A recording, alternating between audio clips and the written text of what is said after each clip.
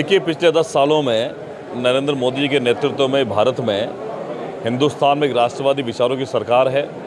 ये सरकार युवाओं की है, ये सरकार महिलाओं की है, ये गरीबों की है, ये किसानों की सरकार है।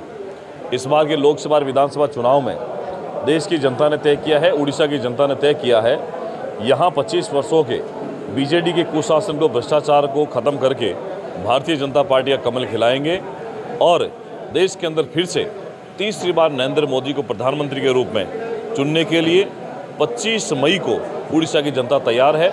इस बार 400 के पार ये जो नारा है, ये देश की जनता का नारा है। इस पर कार्यकर्ता लगे हुए, देश की जनता लगी, उड़ीसा की जनता लगी हुई है। ऐतिहासिक बहुमत के साथ में भारतीय जनता पार्टी की सरकार बनेगी और पूरे भारत में विपक्ष की करारी हार इस बार के लोकसभा विधानसभा चुनाव में होगी। जनता पार्टी के सभी दायित्वान कार्यकर्ताओं की बैठक है और इस बैठक में 25 तारीख को होने वाले मतदान को लेकर, तैयारियों को लेकर आज इस बैठक का आयोजन किया गया। इसमें 25 तारीख को मतदान होना है। उसमें विधानसभा के लिए भाई प्रकाश सेठी जी और लोकसभा के लिए ब्रतरी मेहताब जी, दोनों हमारे भाजपा के प्रत्याशी हैं। दोनों को प्रचंड बहुमत के साथ जीता है। और 10 वर्षों में नरेंद्र मोदी जी के नेतृत्व में जो कल्याणकारी काम हुए हैं, उन कामों के और उड़ीसा की जो सरकार है 25 वर्षों से, जिस सरकार ने जो राज्य गोल्डन स्टेट कहीं, कभी कहा जाता था उस स्टेट को, अभी नीति आयोग की रिपोर्ट भी हम लोग देखें तो ये गरीबी और कुपोषण वाला राज्य बना दिया। तो ऐसे में डबल इंजन की सरकार यहाँ बने, दिल्ली में फिर से नरेंद्र मोदी जी प्रधानमंत्री बने। इसके लिए हम सब लोगों ने एक तैयारी बैठक हुई है और यहाँ का कार्यकर्ता पूरा जोश और उत्साह के साथ विधानसभा और लोकसभा दोनों में भारतीय जनता पार्टी का कमल खिलाने को तैयार है और जनता में भी बहुत बड़ा उत्साह है कि देश में फिर से मोदी जी प्रधानमंत्री बने और यहाँ भी भाजपा की सरकार बने। उड़ीसा अस्मिता की बात निश्चित रूप से है कि जिस प्रकार से बीजेडी में जिस प्रकार की राजनीतिक गतिविधियाँ चल रही है उड़िया अस्मिता से कोई समझौता नहीं हो सकता। और उड़ीसा का जनमानस इसके लिए कभी कोई स्वीकार नहीं कर सकता।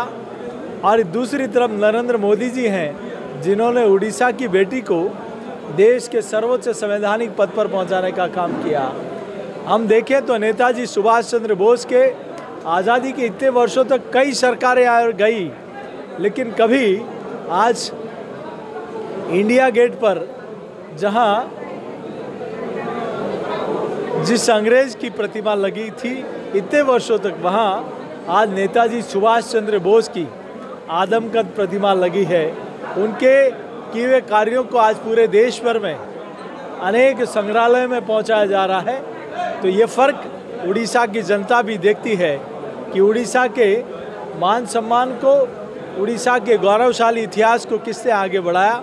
तो निश्चित रूप से भाजपा और नरेंद्र मोदी जी के साथ उड़ीसा की जनता का पूरा आशीर्वाद मिलेगा। आगामी इलेक्शन किपरी परिचालना ताऊपर आलोचना करते आगामी इलेक्शन एठिकार ओडार बार बीजेपी सरकार किपर हम ताऊपर आलोचना होता है ପ୍ରଥମ ପ୍ରାଧାନ୍ୟ ଦେଇଥିଲେ ଓଡ଼ିଶାରେ ବିଜେପି ସରକାର ହେବ ଆଉ ମୋଦିଜୀଙ୍କ ଫୋର୍ ହଣ୍ଡ୍ରେଡ଼ ପ୍ଲସ୍ ମେମ୍ବରସିପ୍ ସାଂସଦ ପ୍ରାର୍ଥୀ ଜିତିବେ ତାପରେ ଆଲୋଚନା କରିବା ସହିତ ମଧ୍ୟ ଟିପ୍ସ ବହୁତ ଦେଇଥିଲେ କାର୍ଯ୍ୟକର୍ତ୍ତାମାନଙ୍କୁ କିପରି ବୁଥରେ ଲିଡ୍ ନେବେ କିପରି ଭୋଟ୍ ବଢ଼େଇବେ ଆଉ ନେତୃତ୍ୱ ନେବେ ଜଣେ ଜଣେ ବିଧାୟକ ପ୍ରାର୍ଥୀ ହିସାବରେ କାମ କରିବେ ବୋଲି ତାଙ୍କୁ ସୂଚନା ଦେଇଛନ୍ତି जदि आपण को आम भिडी भल लगा तेब आम चेल्क लाइक सेयार और सब्सक्राइब करने को जमा भी बुलां नहीं।